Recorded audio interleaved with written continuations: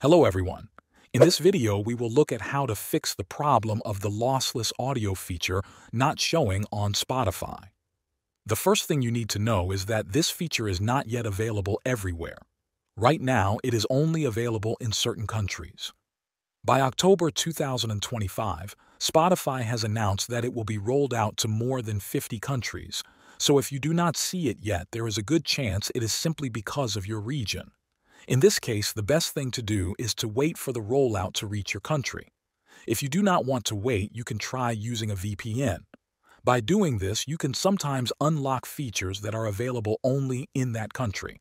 For example, if the lossless audio feature is available in the United States, but not in your region, you can connect to a United States server with your VPN, then log into Spotify and check if the option appears.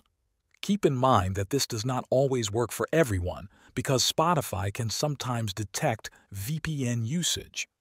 Another important step is to check the version of Spotify you are running. Features like lossless audio are usually released only in the most recent versions of the app. If you are using an older version, the option might not show up even if you are in a supported country. Go to the App Store on your phone or the official Spotify website on your computer and download the latest version. Once installed, restart the app and check your settings again. Thanks for watching.